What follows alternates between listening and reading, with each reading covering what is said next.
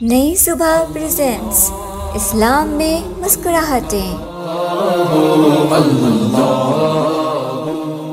नबी अकरम सल्लल्लाहु अलैहि वसल्लम के खुश मिजाजी का एक अंदाज ये भी है कि हज़रत अयूब अंसारी रज़ी अल्लाह तु फरमाते हैं कि मैं अपने चचाजाद भाई और एक सुर्ख रंग के आदमी को आप सल्लल्लाहु अलैहि वसल्लम के पास बैत करने के लिए लेके गया।